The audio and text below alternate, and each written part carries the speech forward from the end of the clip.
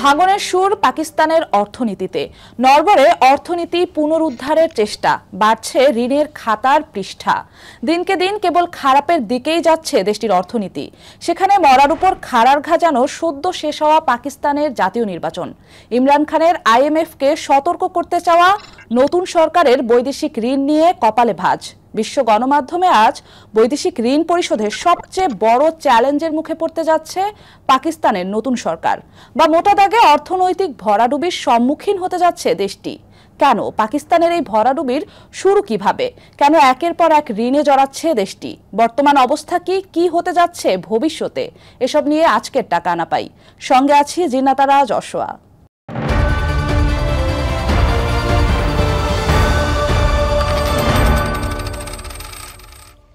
পাকিস্তানের অর্থনীতির টালমাটাল অবস্থা একদিনের নয়, বহু বছর ধরে আলোচনায় দেশটির অর্থনীতি।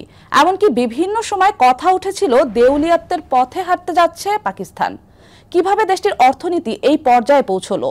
পাকিস্তানের অর্থনৈতিক সংকটের প্রধান কারণ হিসেবে দেশটির রাজনৈতিক অস্থিতিশীলতাকে দায়ী করা হয়। উনিশশো সাতচল্লিশ সালের পর থেকে দেশটি কখনোই টানা গণতান্ত্রিক শাসনের অধীনে ছিল না। দেশটিতে গত ছিয়াত্তর বছরের ইতিহাসে কোনো প্রধানমন্ত্রী পাঁচ বছরের মেয়াদ পূর্ণ করতে পারেনি। নির্বাচিত সরকার সামরিক হস্তক্ষেপের মাধ্যমে ক্ষমতাচ্যুত হয়েছে বারবার। পাকিস্তানের বৈদেশিক ঋণ বাড়ার একটি বড় কারণ বৈদেশিক উৎস থেকে আসা অর্থের বিপরীতে আমদানি ব্যয় বেশি হওয়া। এর মানে পাকিস্তানের রফতানি ও রেমিটেন্স থেকে বৈদেশিক আয় যদি হয় একশো ডলার, বিপরীতে দেশটির আমদানি ব্যয় বা বিদেশ থেকে কিছু কিনতে খরচ হয় একশো আশি ডলার। সোজা হিসেব আয়ের চেয়ে ব্যয় বেশি। তাই পাকিস্তানকে ঋণের দ্বারগ্রস্ত হতে হবে, তাই স্বাভাবিক। এসবের বাইরে পাকিস্তানের দুর্বল অর্থনীতির বড় একটি কারণ দেশটিতে দক্ষ জনশক্তির অভাব। পাকিস্তানের অর্থনৈতিক দুর্দশার পেছনে বড় আরেকটি কারণ হল সন্ত্রাস বা জঙ্গিবাদ। দুই হাজার তেইশ সালের বৈশ্বিক সন্ত্রাসবাদ সূচকে যে দুটি দেশ শীর্ষে অবস্থান করেছিল, তার একটি পাকিস্তান। আর রাজনৈতিক কিংবা সামাজিক যে কোনো ধরনের দীর্ঘমেয়াদী অস্থিতিশীলতা কোনো দেশের অর্থনীতির জন্যই ভালো ফল বয়ে আনে না। তার বড় উদাহরণ হিসেবেই পাকিস্তানের বর্তমান অর্থনৈতিক পরিস্থিতিকে দাঁড় করানো যায়। অর্থনৈতিক ধাক্কা খেতে খেতে দেয়ালে পিঠ ঠেকেছে পাকিস্তান ঘুরে দাঁড়ানোর জন্য একের পর এক দেশ কিংবা আন্তর্জাতিক সংস্থার দ্বারস্থ হয়েছে। জড়িয়েছে একাধিক ঋণে। স্টেট ব্যাংক অব পাকিস্তানের দেয়া তথ্য মতে গত বছরের মাঝামাঝি সময়ে পাকিস্তানের বৈদেশিক ঋণ ছিল একশো একত্রিশ দশমিক এক ছয় বিলিয়ন ডলার। অর্থনৈতিক বিপর্যয় এড়াতে গত বছরের জুনে আন্তর্জাতিক মুদ্রা তহবিল আইএমএফ থেকে তিন বিলিয়ন বা তিনশো কোটি ডলারের একটি বেল আউট প্যাকেজ গ্রহণ করেছিল দেশটি।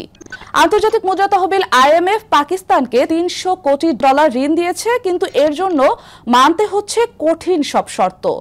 অতি সম্প্রতি স্টেট ব্যাংক অব পাকিস্তানের দেয়া তথ্য মতে ভয়াবহ অর্থনৈতিক সংকটের মুখে থাকা পাকিস্তানকে নতুন করে দুই বিলিয়ন ডলারের বৈদেশিক ঋণ অনুমোদন করেছে চীনের শি জিনপিং সরকার। সাত দশমিক এক শতাংশ হারে এক বছর মেয়াদী এই ঋণের অর্থ মার্চ মাসেই ছাড় দেবে চীন।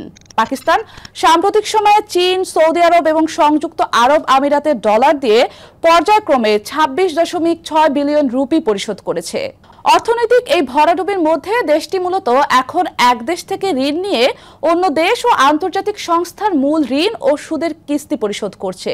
দেশটির কেন্দ্রীয় ব্যাংকের হাতে গত তেইশ ফেব্রুয়ারির হিসেব অনুযায়ী বৈদেশিক মুদ্রার রিজার্ভ ছিল মাত্র আট বিলিয়ন ডলারের মতো। মুদ্রাস্ফীতির হার প্রায় তিরিশ শতাংশ।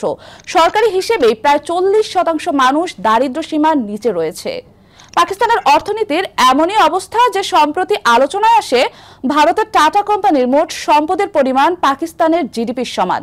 টাটার বর্তমান বাজার দরে মোট সম্পদের পরিমাণ তিনশো পঁয়ষট্টি বিলিয়ন ডলার, অন্যদিকে পাকিস্তানের মোট জাতীয় আয় বা জিডিপি তিনশো একচল্লিশ বিলিয়ন ডলার। এই হিসেবে পাকিস্তানের চেয়ে টাটার একুশ বিলিয়নের বেশি সম্পদ রয়েছে। পাক সংবাদ মাধ্যম ডন, আন্তর্জাতিক ঋণ মান নির্ণয়কারী সংস্থা মুডিসের রিপোর্টের বরাত দিয়ে বলেছে, দুই হাজার চব্বিশ সালে পাকিস্তানকে প্রায় উনপঞ্চাশ দশমিক পাঁচ বিলিয়ন ডলারের ঋণ পরিশোধ করতে হবে, যার মধ্যে তিরিশ শতাংশ সুদ হিসেবে দিতে হচ্ছে। এদিকে নির্বাচন ও রাজনৈতিক অস্থিতিশীল পরিবেশ নিয়ে আন্তর্জাতিক ও ভূ রাজনৈতিক আলোচনায় আসে দেশটি। আলোচনার কেন্দ্রবিন্দুতে স্থান পায় অর্থনীতি। পাকিস্তানের নির্বাচনে ভোট জালিয়াতির অভিযোগ এনে দেশটিতে আইএমএফ যাতে ঋণ সহায়তা বন্ধ করে দেয় আইএমএফ এর কাছে এই দাবি জানিয়ে চিঠি লেখার কথা জানান সাবেক প্রধানমন্ত্রী ও পাকিস্তান তেহরিকি ইনসাফের প্রতিষ্ঠাতা ইমরান খান। অভ্যন্তরীণ এমন রাজনৈতিক কোন্দল চোখে পড়েছে অন্যান্য দেশ ও আন্তর্জাতিক সংস্থাগুলোর। নির্বাচনী ডামাডোলের পর ঋণ পরিশোধ করতে পারবে কিনা তা নিয়ে সংশয়ে পড়ে আইএমএফ ফলে দ্বিতীয় দফার ঋণের পর্যালোচনা দেরিতে করতে চায় সংস্থাটি। শেষ দফার এক দশমিক দুই বিলিয়ন ডলারও দেরিতেই ছাড় করতে চায় তারা। একটি দেশের মোট বৈদেশিক ঋণ সে দেশের হাতে, ঠিক কি পরিমাণ বৈদেশিক মুদ্রার রিজার্ভ রয়েছে তা সবার আগে বিবেচনা করে হয়। আর এক্ষেত্রে মোট ঋণের বিপরীতে চল্লিশ শতাংশের কম বৈদেশিক মুদ্রার রিজার্ভ থাকলে তা অবশ্যই দেশের জন্য ঝুঁকিপূর্ণ হয়ে যেতে পারে।